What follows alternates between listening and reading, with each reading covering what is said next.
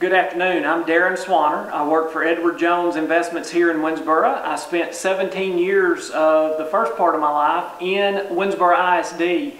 I'm a graduate uh, of Winnsboro High School, and, and so I, I love uh, what our school district provides for our community. And, and I'm here to, to tell you why I'm supporting Joey Keef uh, today.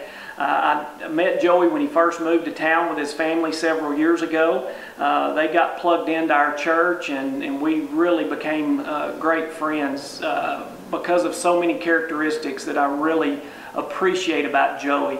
Um, just his godly character. Uh, he's a man of integrity. He's a family man. He loves his family, uh, his wife and his two boys, and, and you know, un unlike some that'll move into a community and just kind of sit back and not really participate, Joey and Shelly and, and the boys were just the opposite. They jumped in and became very active in our church, but especially more broadly in our community.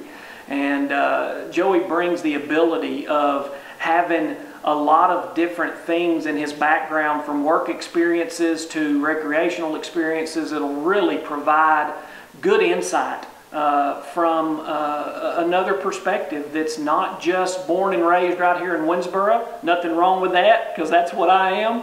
Uh, but to have other ideas that really complement what I know that, that our school board has always wanted to do. Keep the kids first support and encourage the teachers as, as best they can because that's so important. Uh, those teachers do such a phenomenal job and it's a hard job.